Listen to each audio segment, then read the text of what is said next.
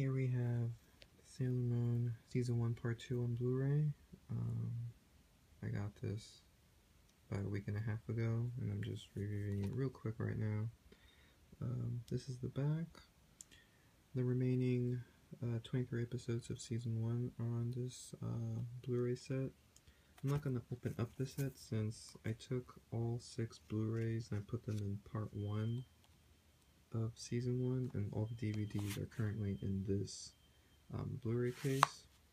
That's just how I wanted to do it for this set. Um, I'm not going to touch much upon this other than the fact that if you're wondering about uh, the quality of the episodes, they've greatly improved since part one. Um, there's almost very, very little ghosting in this um, set, in set two.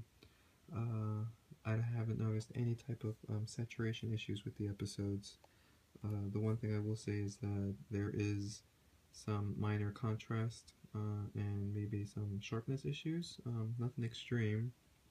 You see them mostly in the opening title sequences for each episode, um, and they vary very, very slightly throughout the episodes. Um, they last just a couple seconds, and it isn't any kind of blurriness where you can't see um, what's being um, shown or it or what you call it, doesn't affect like the video quality.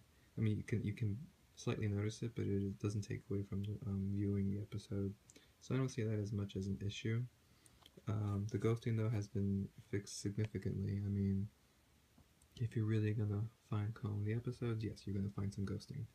Um, but they're so so far in between in this set, so I'm happy that the Viz Media was paying attention to um, their customers. Um, bonus features are quite a lot. Um, panels are there, um, trailers are there, um, and some, some other stuff that you'll see actually. Um, what isn't there that I hope would be there are the text textless intros for the very first episode and the second opening theme for this is not included as a textless bonus um, feature, I guess you could say. Uh, but the first opening textless and the first ending are included, and I believe the second ending textless theme is included as a bonus. Um, other than that, um, I'm sure you'll figure out what's uh, what bonus features there are, um, but just to run quick, it's the X Sailor Moon panel, official cosplay team interviews, Sailor Moon Day highlights, art gallery, and Moonlight Memories, Memories Part 1, which contains some spoilers if you haven't seen the finale of Season 1.